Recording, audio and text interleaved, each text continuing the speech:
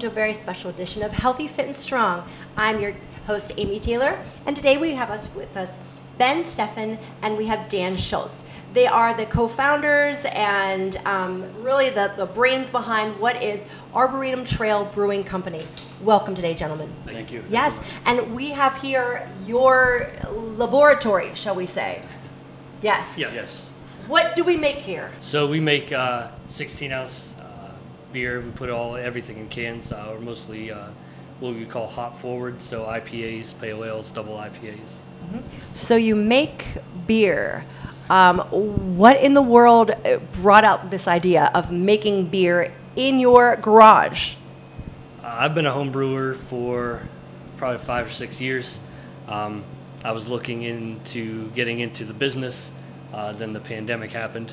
So um, Dan was coming over, helping me uh, homebrew, and we got to talking and thinking. And then I found out that uh, PA law allows somebody to put a license on a residential area uh, with some certain stipulations. Uh, we looked into that, and we passed all the stipulations, so we, we took that step. We've been friends since 2016.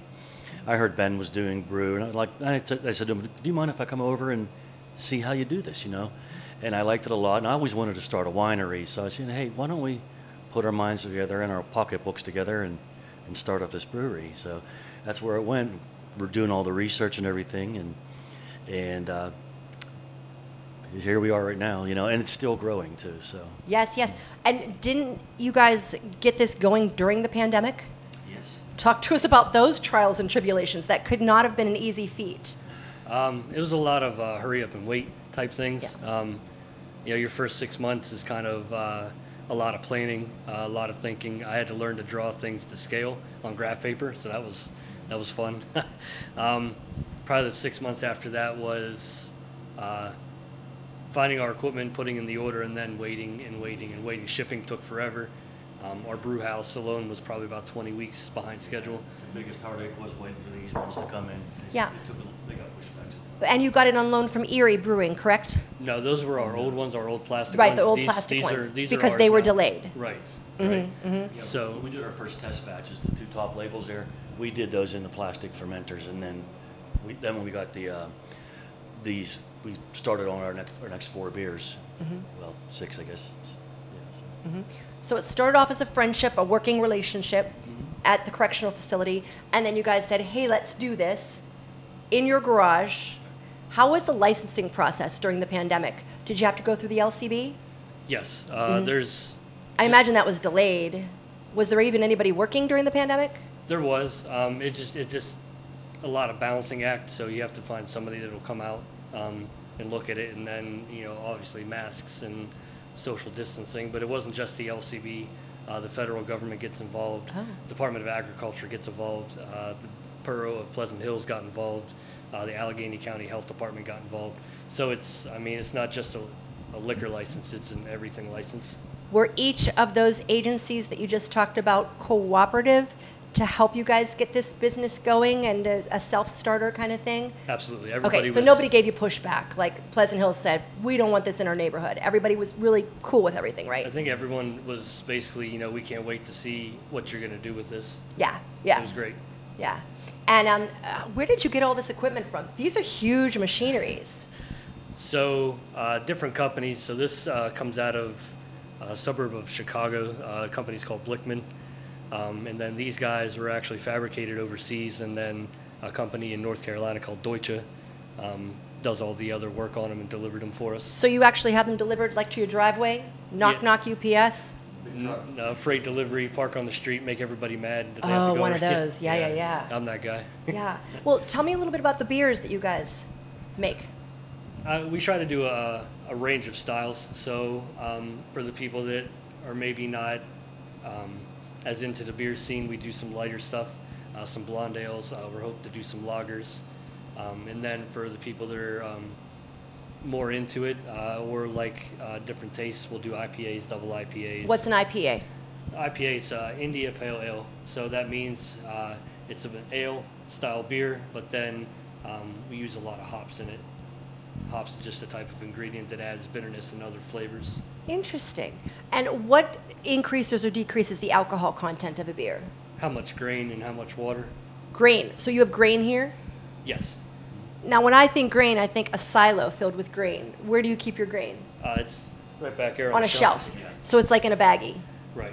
So you have oats and grains. So 90% of your um, what they call the grist, your makeup, um, is going to be barley. Well, I want to be hip to the scene, so I want to say grist, right? So your grist is basically. So my your- your grist would be Yeah. okay. I want to be cool like you guys. I don't Okay. so it'll be made of the oats. Right. So um, some beers we do oat and wheat, um, but I would say most of our beers are generally just uh, types of barley. So there's actually um, people that will what's called malting. So the grain's taken off the stock, taken into a house, and then they do different types of kilning and growing to give it different flavors. So some is very plain and white bread, or others can taste like chocolate. We use one that tastes like coffee. Seriously? Yep. So you add different flavors to it, With like a grain. peach or a coffee or Um, those could be extracts, so your fruit flavors can be hops and uh, fruit purees and extracts. that sounds delicious. And then That sounds stuff. really good. it, it's it's it's all just um, it's kind of baking but with alcohol. Did you have to watch a YouTube video to learn how to do this, or how did how did how did all this come about? Um, a friend was home brewing. My uncle actually owns a, uh, a brewery out in Beaver County, Oh, okay. so I watched them do it for you know 20, 25 years. I see. So it's kind of in your blood. I guess the beer's yeah. in your blood, right? most nights, yeah. And when I stepped in, uh, uh, Ben's my mentor.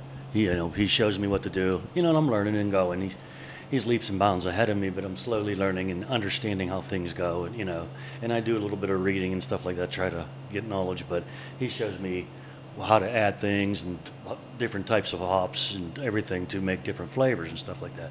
And it's interesting and it's fun. It's fun learning. So That's nice that you mentioned that he's your mentor. yes. It sounds like you guys have a really nice friendship. we do.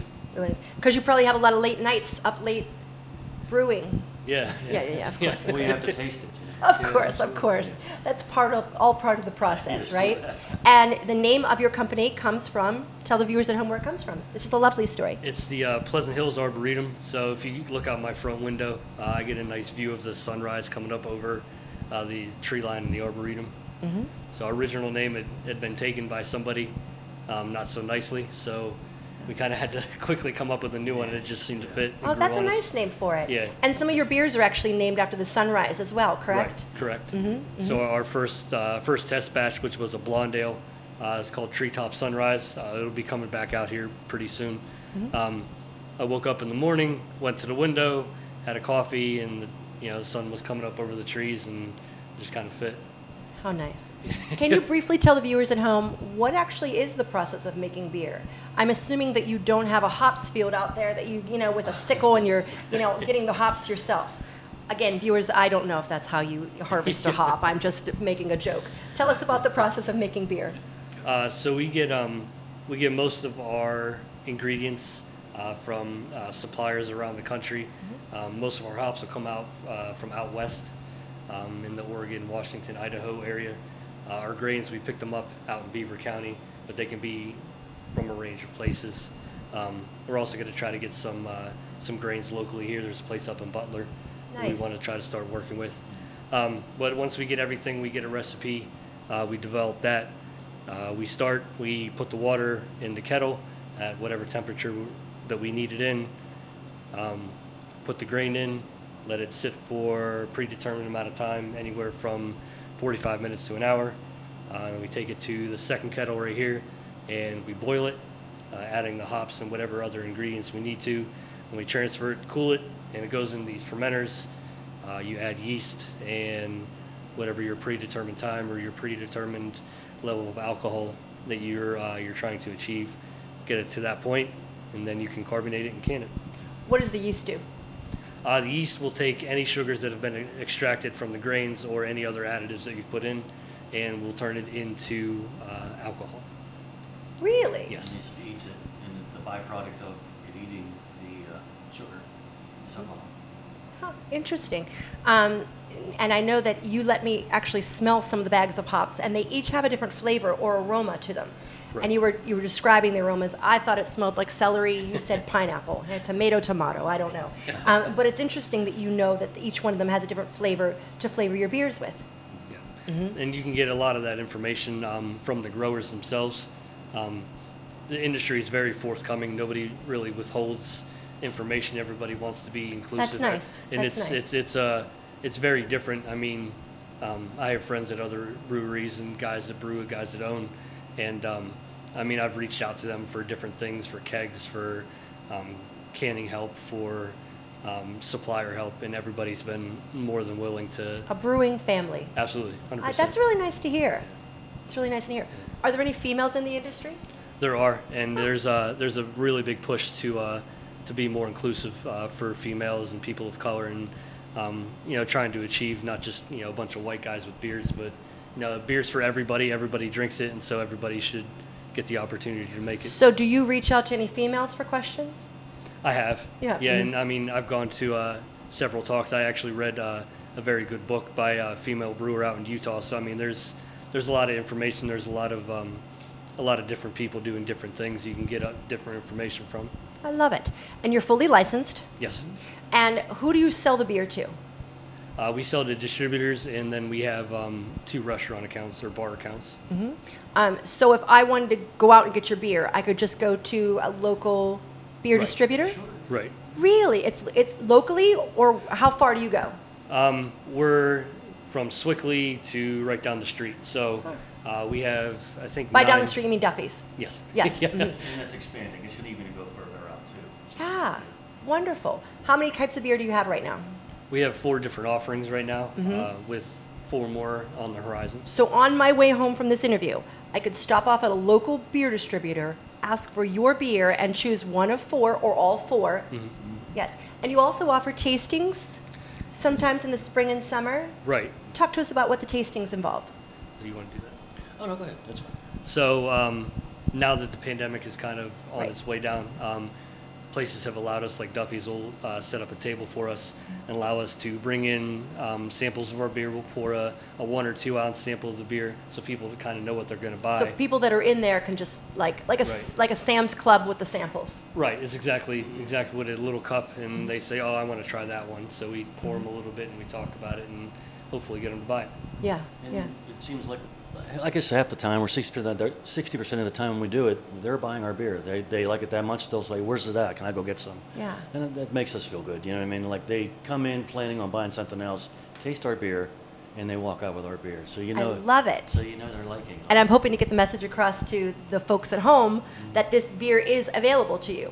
Um, and you mentioned restaurants. Which restaurants carry your beer? So we have uh, Mike's Beer Bar across from PNC on Federal Street. Um, they were gracious enough to take uh, a keg of each of our By the Pirates. yes, Huh. yes. Um, they took a keg of each of our first four offerings, and then some of the cans uh, that we produced, um, and then uh, Carson Street Deli had a couple uh, cases of our cans. Nice. So if you're visiting either of those establishments and you'd like to try one of their ice cold brews there, certainly help yourself and do so. Um, and that's wonderful. And this is actually your garage. Right. Which means you park the car outside and the beer comes inside, right? Priorities. Absolutely. Right. Absolutely. I love it. and I appreciate the fact that you wore your logo on your shirt. Yes. Talk to us about the logo. How did that come to be? The logo's great. Um, we initially started a logo, and then he has a friend, uh, I guess I could say his name, Dak Singletary, who is a graphic designer. And uh, he put together this logo. It turned out fantastic. And as you can see, there's a trail and there's trees, but if you look close, these are hops upside down. Oh, that's it. Yeah. So it's all tied in together. It's a very nice rustic looking logo, natural looking logo. Kind of goes with the name, you know. May I ask, does the Trinity stand for anything? Is there a third silent member? No. No. Okay, so it's it's Dan, it's Ben, and it's the Customers. forest. the customers, My, right. wi- my wife's permission. Oh, the wife's permission. and maybe a little bit of the checkbook, yes? Yeah. a little bit of the checkbook. Um, and I understand that your friend, what's his name that did the graphic arts? Uh, Dak, Dak Ben's friend. Singletary. Dak Singletary, also does your labels? Yes. Yes. He does all of our artwork. Lovely, and I want to display some of those as well here in a minute. Sure. Um, this is 306 square foot, Right. And do you feel this suits all your needs? It's big enough? Um, Or are you going to be branching out? we'll branch. I mean, we- Branch out, yeah. forest, arbitrary joke. Okay. We have uh, some things in the works. Um, we've come to the line where we need uh, we need a couple more tanks and we need some um, bigger storage area. So we're uh, possibly getting into a, uh, a small little warehouse to um, house some cold storage and some of our merchandise and things like that, so we can free up space. Um, how many times did it take you to uh, make the beer before you finally got the taste right? Like, what would, if I was going to try a new kind of beer, how long would you have to work on it before it's just right? Really depends. Um, that's kind of the fun part of brewing is that um, I don't think it's ever actually perfect. I think you can always improve, but um, each recipe you try to decide, okay, well, this could use a little bit of something. This we could do a little bit of this. Uh, I mean, anywhere from your water to your grains to uh, the temperature you keep it at while it's fermenting. Uh, every little nuance can add different layers. And you mentioned that you have a coffee flavor, a peach flavor, other flavors. Where can the average Joe go to buy one of those? Uh, those haven't come out yet, so Soon, Yeah, soon, So check back. Will it be available in the beer distributors? Yes. Or only on the website? No, we don't sell off our website. It's purely in store. I understand. Or restaurant. A restaurant, Right, right, right. Correct. Um, so soon, check back on their webpage, and which is what? Uh, ArboretumTrailBrewing.com. And then you'll be able to find out when their flavored beers are coming out. We also have a special. You want to tell me about what this barrel is behind us? So, um, a big move in craft brewing is to um, take beer that has a higher alcohol level and uh, put it into some sort of uh, spirit uh, barrel, whether it be uh, bourbon, whiskey, gin, uh, tequila, whatever it would be. Even wine barrels have been used before. Um, but basically, what it does, it conditions inside of uh, the wooden barrel. Uh, we took a Dad's Hat rye whiskey barrel, it's 15 gallons. Uh, and we put a uh, what's called an imperial stout in there. Um, imperial just says that it's it's a higher alcohol level. Well, you mentioned 11%. Right. So it was it was 11% when it went in. Uh, we'll pick up a little bit um, of the whiskey, so we'll add a little bit of uh, That's so cool. alcohol. It picks up the whiskey from the barrel itself, which had stored the whiskey. Right. So when Mm-hmm. uh, when whiskey ages in barrels, uh, anywhere from two to 20, 25 years, um, as the temperature changes, the wood uh, will expand and contract, and along with it, the whiskey will go in and out of the wood. So when they dump them, they wrap them, all that whiskey stays inside of the wood. So then we put the beer in, and it does the same thing with the beer, but when it does that, it'll extract some of the whiskey with it. So in this case, we're getting uh, the Dad's Hat rye, so you're going to get some of that that rye heat. You're going to get uh, some of the vanilla. Um, you're going to get a little bit of the uh, the burnt toffee flavors from from the staves when they're when they're created. That sounds so good. I've already got my pre-order in for the first bottle that's that's created, and the price on that's going to be a little upscale because it is a boutique. Can It I is. call it a boutique beer? Sure. That new, you've heard it here first, Bethel Park TV. It's a boutique beer, and the price is going to be a little bit higher. It will be. Um, I don't think we've set that exactly, Mm-hmm. Right. but it, it will come out in a 22 ounce bottle. It'll have wax. And how do we buy it. that? Uh, same way. It'll be at a, a limited number of stores um, with such a small amount available. Right. And that information also will be available on the website Absolutely. when it's finished. Absolutely. And we're thinking the end of July-ish would be one year of Of barrel aging. Conditioning. Oh, Conditioning. yeah. conditioning. Yes. Mm-hmm. Mm-hmm. So these are our kettles. Uh, so we this is called a two vessel system. So um, normally you would see three all in a row. Uh, we didn't have room for any of that. So what we do for our hot water, uh, we have a tankless hot water heater over on that wall there. So that kind of eliminates the uh, the third kettle. So um, this is called a mash tun. This is where all your grain goes in. Um, when it's dry, obviously we'll have the water and everything in here. Uh, it'll sit for our predetermined time. And then what we'll do, you'll see a there's kind of a little spigot on the bottom. So we pull it out of there and rotate it back into what is called the boil kettle. Um, taken in here, there's uh, three metal heating elements at the bottom of this uh, that we can control on our panel here uh, to get uh, up to a boil and at different levels uh, how fast we want to get it there. Um, so after it's done boiling here, uh, we use this spigot or this this arm here is called a whirlpool arm. Uh, helps us circulate the beer, uh, get it to cool faster, and then again on the bottom another spigot that we use to usher over into our fermenters. Hmm. And then from there, Then from here, uh, we'll go into any one of our fermenters here. Uh, we have three fermenters, so we'll just use any of our hoses and pumps. Uh, we'll put it over here while it cools.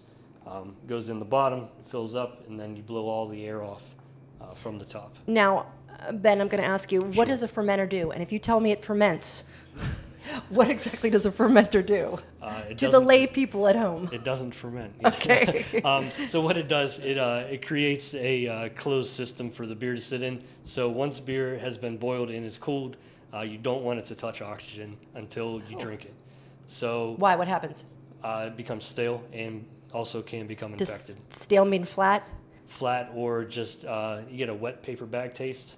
And um, when you say infected, does that mean it's poison or does that mean it doesn't taste good, like bitter? Uh, it could be both, Oh, okay. technically. So um, oxygen is bad for beer um, after it gets into here Hmm. uh, until you you hit. So what we do uh, while we're taking it over, we put in pure oxygen, which helps the yeast grow. But then we don't want any um, anything from the atmosphere coming in.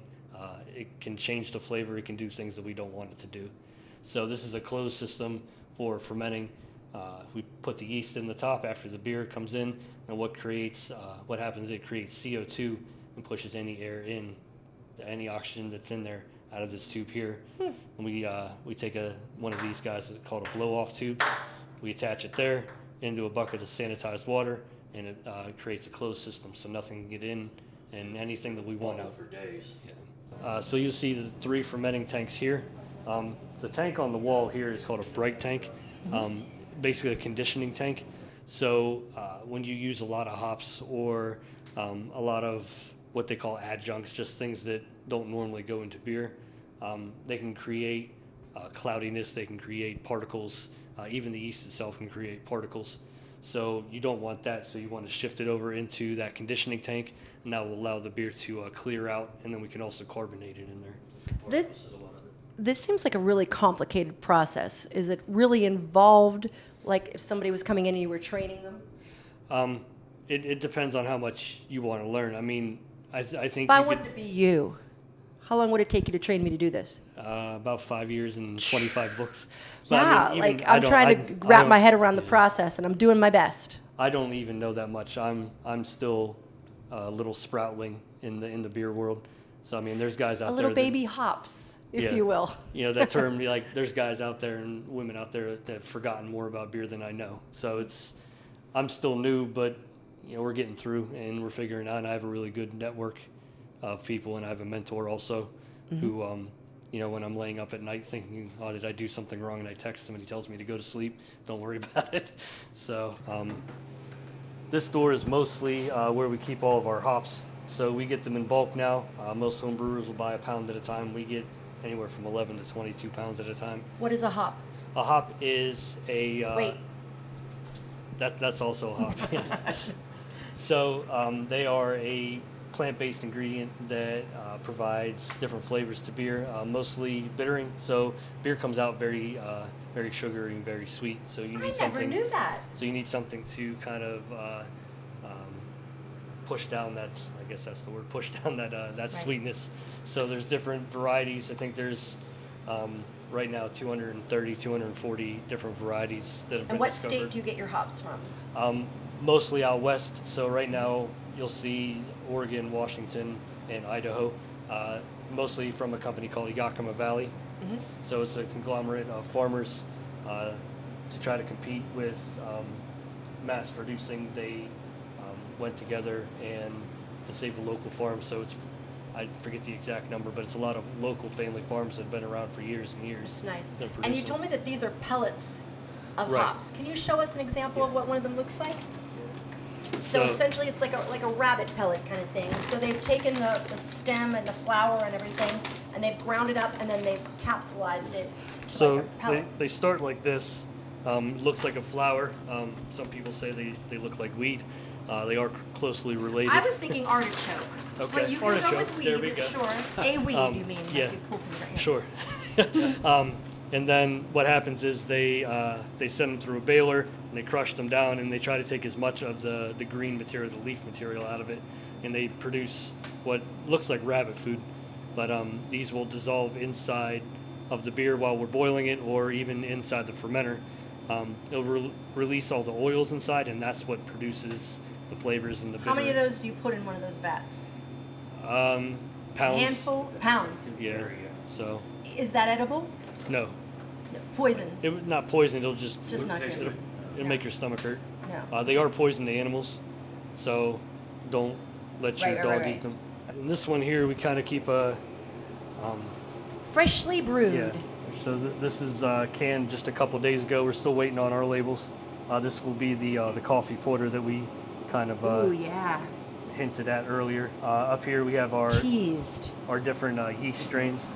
So we use a lot of dry yeast here. So we'll measure it out uh, and then dump it in, in the beer when it's ready. And then we, a couple additives that we use for yeast health and whatnot. And then, can we have a drum roll, please, Dan? So Look at that final product. more coffee beer and then some of our, our leftover from uh, our first release a couple weeks ago. American brown ale with honey. Where did you get the honey? Sunny Rose Ranch. Sunny Rose best, Ranch. Best in the business. Best of the biz. And look, we have different kinds of beer here. All available at your local beer distributor. Mm.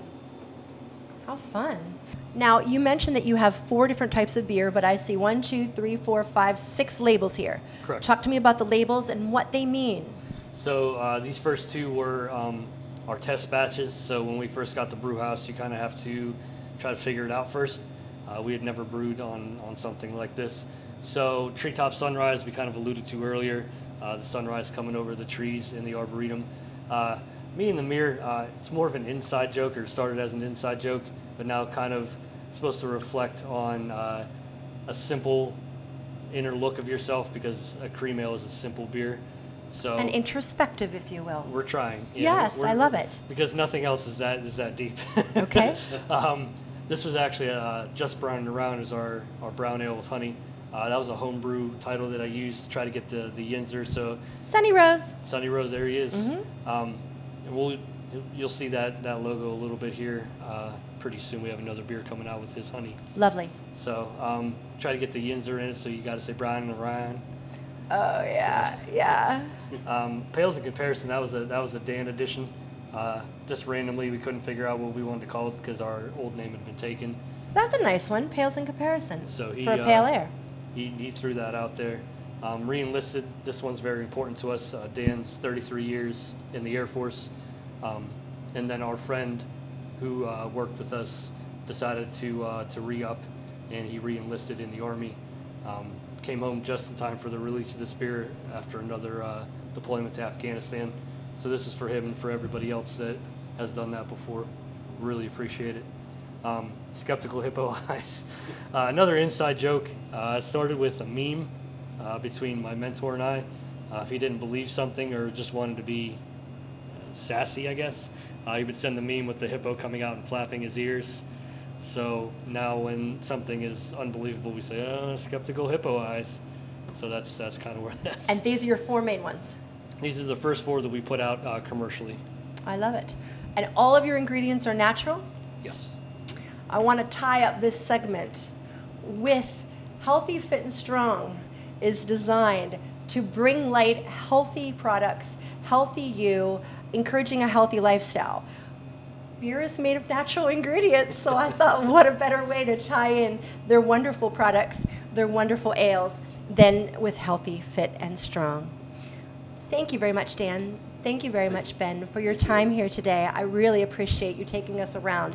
It's been very informative. Thanks for coming out. From Amy Taylor, Bethel Park TV, Healthy, Fit, and Strong, thank you so much. Have a wonderful summer.